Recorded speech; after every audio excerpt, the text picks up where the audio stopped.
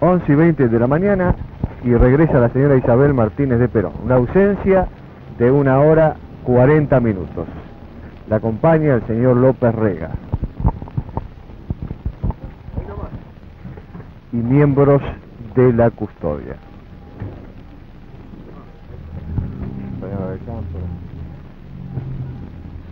Buenos días señora, ¿cómo está usted? ¿Nos puede informar hacia dónde se dirigió? ¿Hacia dónde fue? A misa. Sí, nada más. ¿Señora está preparando las valijas ya? No, todavía no. Hay mucho que hacer. Con el programa de hoy del Perón, No sé, pregúntenle a ellos porque... Tiene que recibir a los suboficiales del ejército. Buenas, que van a venir ahora dentro de un rato. muchas gracias señor López Rega.